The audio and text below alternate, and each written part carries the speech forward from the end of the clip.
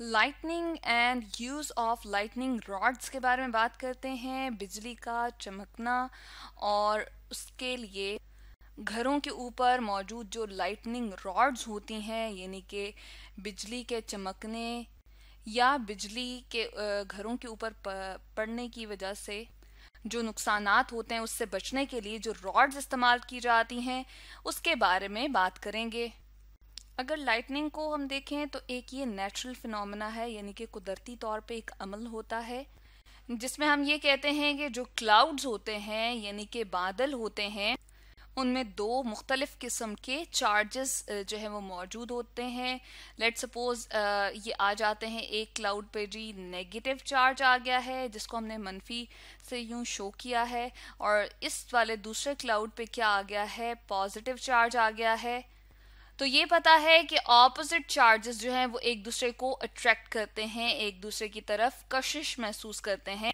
तो इसी वजह से ये दोनों ऑपोजिट चार्जेस जो हैं, वो क्या करेंगे? एक दूसरे की तरफ़ कशिश महसूस करते हुए ट्रांसफ़र होने की या मूव करने की कोशिश करते हैं। और जो दरमियान में एयर होती है, यानी कि इन क्लाउड्स के दरमियान में, उसमें बिजली की चमक सी ऐसे नज़र आती है। बिल्कुल यही फिनोमेना हो सकता है इन बादलों में मौजूद चार्जेस और ज़मीन में मौजूद किसी भी हम घर के ऊपर जो मौजूद होती हैं, छतें वगैरह, या हम कहते हैं कि कोई भी ऑब्जेक्ट जो ज़मीन के ऊपर मौजूद हैं, उनके ऊपर भी अगर इनसे मुख्तलिफ़ चार्ज होता है तो तब भी ये क्या करते हैं, ये ट्रेवल करने की इस तरह से हवा के अंदर से कोशिश करते हैं और इस तरह से बिजली की ऐसे चमक सी यहाँ पर महसूस होती है या नज़र आती है। तो इलेक्ट्रॉन्स जब ये वाले नेगेटिव चार्जेस जिनको इलेक्ट्रॉन कहा जाता है, ये जब ट्रेवल कर रहे होते हैं इस एयर में से तो इस एयर को ये क्या कर देते हैं? हीट अप कर देते हैं। यहाँ से भी क्या होते हैं? हीट अप हो जाती है ये एयर के जो पार्टिकल्स मौजूद हैं। और इसमें से क्या होता है? बिजली की इस तरह से चमक सी नज़र आती है। तो इससे बचाव के लिए लाइटनिंग रॉड्स जो हैं वो घरों के इस तरह से छतों के ऊपर लगाई जाती हैं। और ये एग्ज़ाम्पल है लाइटनिंग प्रोटेक्शन सिस्टम की। जब यहाँ पर बिजली की चमक सी आ, हमें नज़र आती है जिसको लाइटनिंग कहा जाता है तो इसी के दौरान बहुत लाउड साउंड जो है वो प्रोड्यूस होती है। गरज की सी साउंड जो है वो महसूस होती है जिसको थंडर कहते हैं।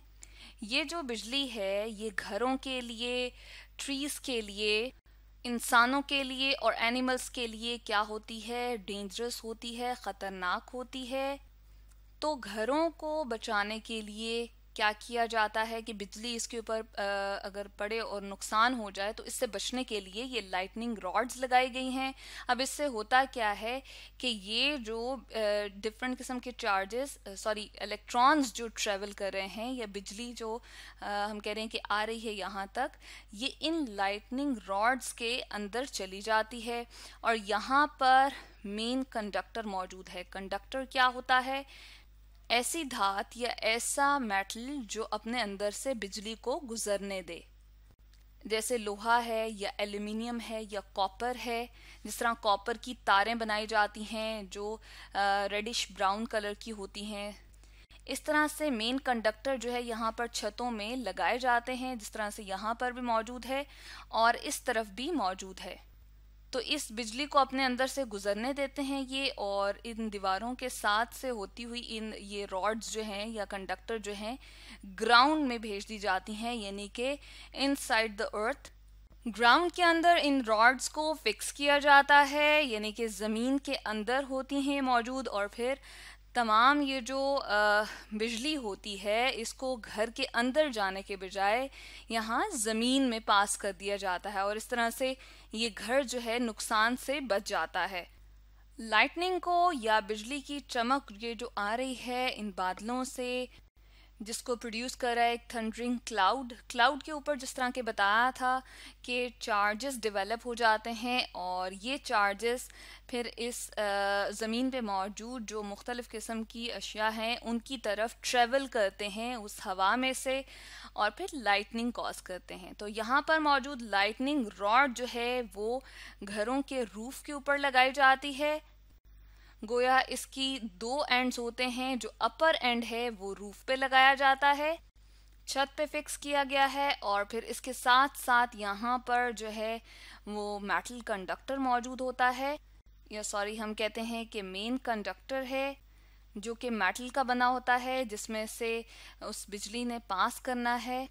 और यहाँ से पास होती हुई ये ग्राउंडिंग रॉड जो कि इसका लोअर एंड होता है, वहाँ तक चली जाती है और फिर किसी भी नुकसान से इस घर को और इसके अफराद को बचाती है।